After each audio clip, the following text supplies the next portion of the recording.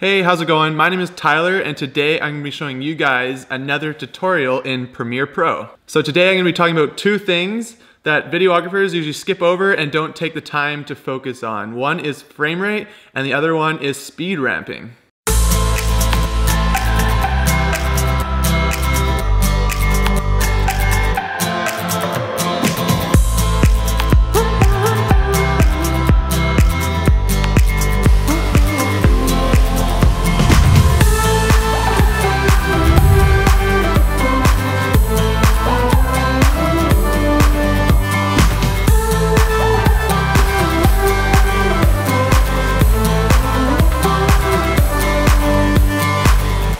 These two things might seem really basic to some of you, but I've had a lot of emails, a lot of messages of people asking me what frame rate I shoot in and how to properly speed ramp your footage. So today we're gonna go over that and we're gonna jump into Premiere Pro and I'm gonna show you how those things go hand in hand together to create some awesome cinematic sequences.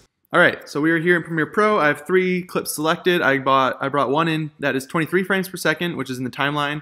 I have one that is 60 frames per second and one that is 120 frames per second, all filmed in, in camera.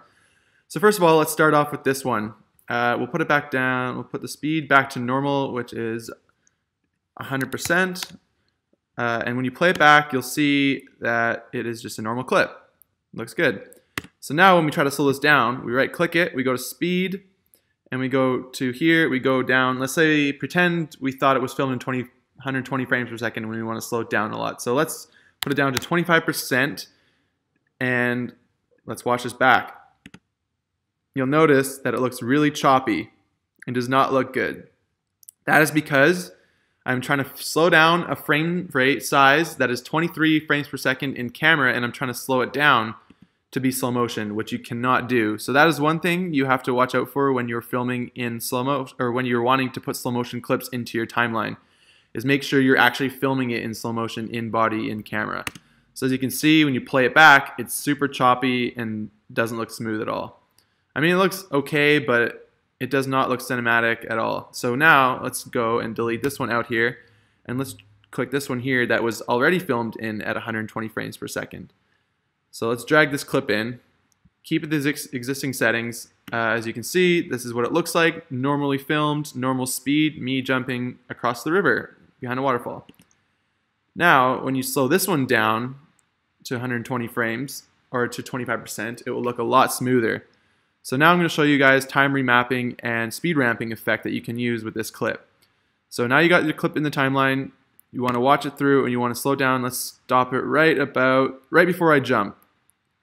That looks good. So we'll right click that box that says FX, right click that, go down to time remapping, hit speed, and it brings up this bar here. As you can see, you can drag it up faster or slower in percentage.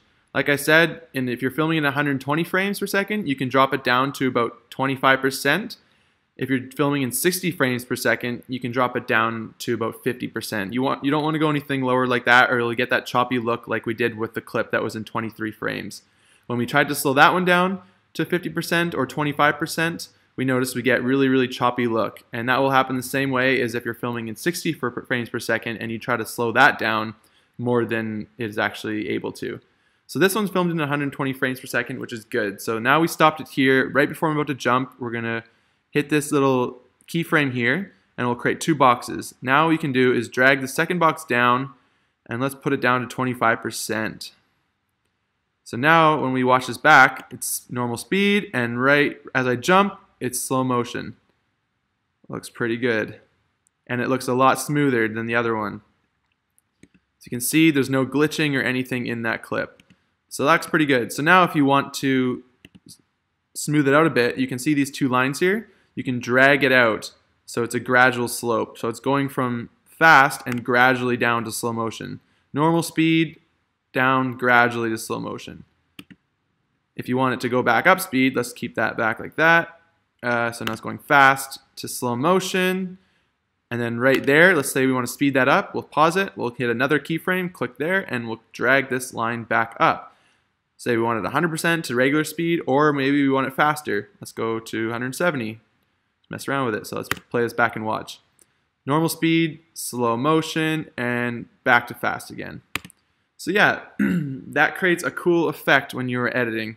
Uh, one thing you got to remember though is when you're filming these in slow motion, if you're setting your camera to 60 frames per second in camera, you have to make sure you're setting your shutter to the correct speed as well. So if you're filming in 60 frames per second, you got to make sure you set your shutter to 120 frames. You're always doubling whatever the frame rate is with your shutter. So if you're filming in 120 frames per second in camera, make sure you're filming in 240 for your shutter speed. That will create a lot better look and a lot smoother look to your footage when you're slowing it down in post.